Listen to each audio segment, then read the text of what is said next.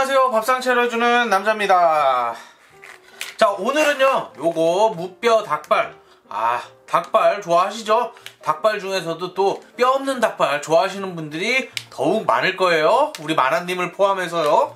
그래서 저는 뼈 있는 닭발을 좋아하지만 뼈 없는 닭발 좋아하시는 분들을 위해서 아주 매콤하고 바삭바삭 자 국물 없는 뼈 없는 닭발 만들어 보겠습니다. 자 잘 보시고 여러분들 또 맛있게 닭발 한번 만들어 보셨으면 좋겠습니다. 자, 우선 저는 좀 많이 만들어 놓을 거라서 자, 1kg짜리 두 개를 준비했고요. 자, 여러분들 보통은 한번 만드실 때 1kg짜리 하나씩 만드시면은 딱 맞을 거예요. 자, 저는 그리고 대파 두 대 거의 흰 부분 위주로 준비를 했고요. 아, 다진 마늘 한 줌 이렇게 준비했습니다. 청양고추, 청양고추 4개 정도 준비했는데 자 매운맛은 요 청양고추로 조금 더 조절을 하시면 될 것 같아요. 마지막으로 준비한 것. 짜잔 요거는 홍시입니다 홍시. 지금 이거는 냉동 홍시 녹인 건데 이 홍시를 넣는 게 오늘 포인트가 될 거니까 자 요 홍시를 이용해서 맛있게 한번 만들어 보도록 하겠습니다. 자 우선 닭발은 해동을 한 뒤에 자 차가운 물로 깨끗하게 한번 씻어 주도록 하겠습니다 자, 뼈가 있는 닭발은 좀 물에 담가서 자, 핏물을 좀 빼주시면 되겠지만 이거는 뼈가 제거되고 앞쪽에 뭐 살도 거의 없기 때문에 자, 오래 담가 놓으실 필요는 없고요. 자, 깨끗하게 좀 씻어주는 정도로만 헹궈 줄게요. 자 그리고 닭발을 한번 데쳐줄 거거든요.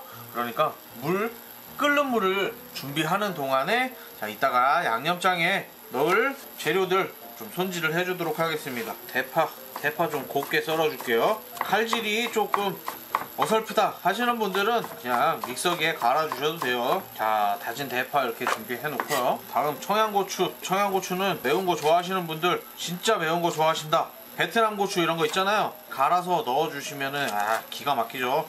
엄청 맵죠. 저는 청양고추로 만족하겠습니다. 청양고추 4개도 저는 지금 충분히 매울 것 같아서 좀 걱정이 돼요. 자, 좀 곱게 곱게 다져주세요. 마늘도 마찬가지로 다져줄 거거든요. 이렇게 이렇게 다진 마늘까지 아이고 이렇게 끓는 물에 닭발을 데쳐 줄 건데요. 이렇게 한번 데쳐 주셔야 혹시나 남아 있을 수 있는 닭고기의 잡내, 비린내 자 이런 거를 없애주기 위해 한번 데쳐 주는 거예요.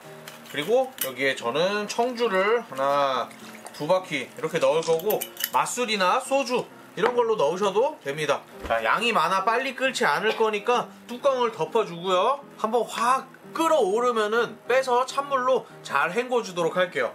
자 이게 한번 끓어오르는 동안 양념장을 만들어 줄게요. 자 이제 제일 중요한 양념장 만들도록 할게요. 자 우선 고추장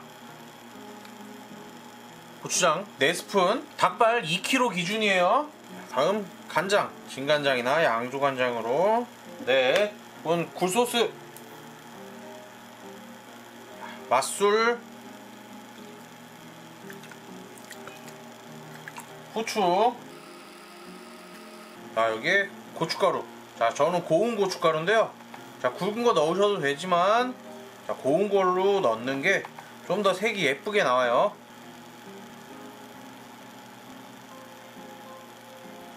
다음 물엿.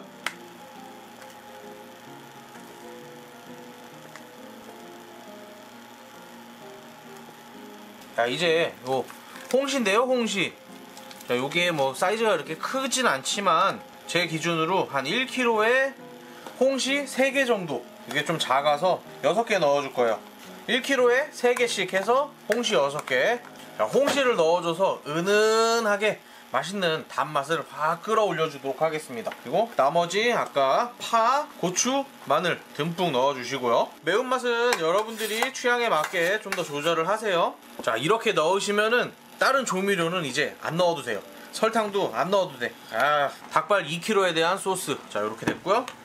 자, 오 이제 닭발 막 끓었어요. 자 이렇게 끓고 있으니까 이 닭발들을 싹 건져서 찬물로 한번 깨끗하게 헹궈 주도록 할게요 자 이렇게 닭발 깨끗하게 헹궈줬고요. 자 여기에 넣어주시고 불을 켜주시고요. 식용유 약간만 불러줄게요.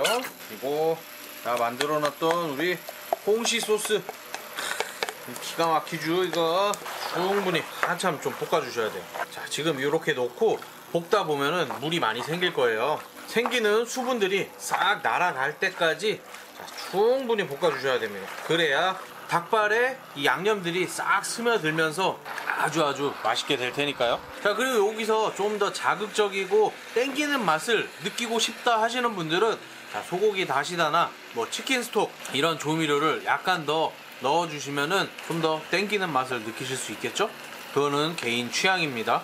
이런 거는 개인 취향이에요. 넣고 싶은 분들만 넣으시면 돼요.